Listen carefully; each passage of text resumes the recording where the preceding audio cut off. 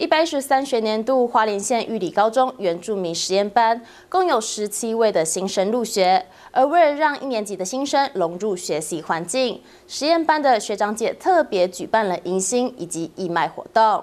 玉里高中原住民实验班迎新活动，二三年级的学长学姐特别列队欢迎刚入学的学弟妹。为了让新生融入学习环境，实验班特别办理了迎新跟手工艺品二手义卖活动，就觉得还蛮有趣的，因为没有这种这种活动。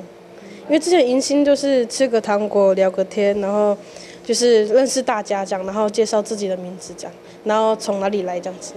不会像说像现在一样可以有卖东西。然后玩个游戏，还是穿个很八九风的衣服这样子，所以今天忙今天活动还蛮开心的啦。一百一十三学年度花莲县玉里高中原住民实验班共有十七位的新生入学，大部分都是花莲南区玉里卓溪地区的学子。因为我是原住民，然后然后就想说上原民班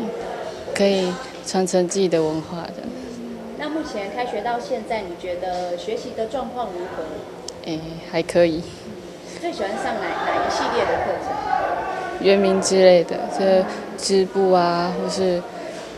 老师、老师老师教我们跳舞。为了这个迎新活动呢，特别跟学生哈规划这样一个义卖的一个活动，那然后有一个主题，然后去呈现。那希望学生能够透过这个一个活动呢，能够展现他们平常的一个教学跟学习一个成果。玉里高中是花莲南区的最高学府，一百零五学年度特别设立了原住民艺能班，到一百零八学年度改为原住民实验班。目前学生总共有四十位，宗旨主要是提升学生学习成就，增进原住民学生民族意识，培养兼具传统与现代知识的新世代原住民，启发特殊潜能，扩展未来升学与就业方向等。记者高双双、张明泰、玉里镇采访报道。